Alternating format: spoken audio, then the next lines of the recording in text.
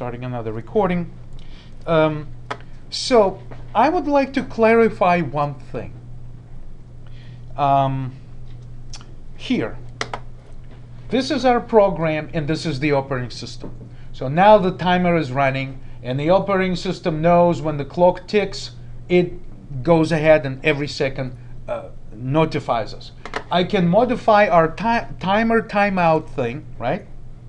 Uh, I can uh, modify our timer timeout uh, setting and I can be mo notified more often or you know once an hour or once every 10 minutes right? Okay so I'm in control of like what uh, what this timeout really does. Now one clarification. I don't want you to get an impression that we have this remember our program once started it is constantly in this loop to process events. Button clicks, uh, minimize, maximize, resize window, anything else that you can think of. Scroll bar is being used. Everything is actually handled inside the component that the library compiles into our code. Is everything is happens here inside this code. Now, so you may think, or it may give you an impression that we have this loop, and when the timer kicks in, we get completely separate notification from this loop.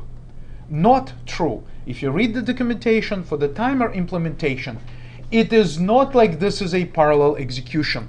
What happens here is that the operating system deposits this event into this loop, the loop stops, and then this event is processed by our timer event thing. And when we get out of this function and say, okay, we're done, then inside here, the loop will go on. Okay? So, for example, for example, right, we can test if in this timer event, I create like an endless loop, right? I, I will do something horrible like this forever, right? Forever do nothing right? This kind of like an empty loop with do nothing. So once the timer event catches ca uh, is caught, just you know, I'm never going to get out. I'm just, just go, going to stay here forever. Let's take a look, right? So I, I build this, and um, if I run it, uh, oh yeah, it's still running, so I need to close it. Build, so build this, kind of meaningless and horrific uh, uh, thing to do, but Let's test it. So everything's okay. I can say stop. I can move around and I can say start. So once I say start, I never even print anything. Look what happens. I can no longer move my window. I cannot minimize it. I, it says not responding because I'm completely kill. I completely destroyed this loop. In my timer, I caught this clock event and I went to endless loop and everything is frozen.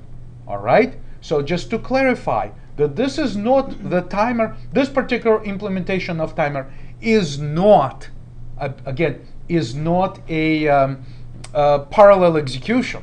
I'm not giving a separate thread of execution. I can do that by asking the operating system to actually give me a separate thread of execution, start that separate thread of execution, and truly implement some parallel programming there, you know, using parallel threads. But this case, look, I can I can no longer, well, I can still minimize it. I guess the operating system handles that. But my buttons obviously don't work anymore. I guess what's really suspended is everything inside here. See, see where's this uh, uh, this uh, uh, uh mouse uh, indicating waiting mode comes back. Operating system detects that the window has processed, has stopped processing events. It no longer processes any events, right? So this is really a dead end for this application unless it somehow wakes up from this horrific, you know, loop, which it which it's not going to, right? It's just, you know, this is it. it it's it's completely dysfunctional. So an attempt to close it also doesn't work, all right? So this one, this time the operating system says, hey, uh, look at this, uh, it's not responding. Uh, I can assist you, I can close the program for you, or you can say, okay, I'll wait for this to come back somehow. So obviously it's not going to work. So I'm just going to say close the program. It's going to say it's not responding, blah, blah, blah, blah, blah. So there is only one way is to kill this application using task manager or whatever happens to, to the user interface. So interesting note that this is not a parallel execution. So it's basically a cooperative graphical user interface programming that we need to be aware of. So if you want to write a computer game and use some of this, you just have to be aware that timer takes away from the, the, the, the, the main loop, right? So therefore, your timers do slow down everything else. So if in this loop you do something, some other computations, it better be quick. If you need to do something serious, which will take seconds to do, and you do this a lot of time, you have to do it somewhere in the background and ask the operating system for a separate thread of execution. Not the topic of today's discussion, but I think it's interesting to, to talk about. All right, next fragment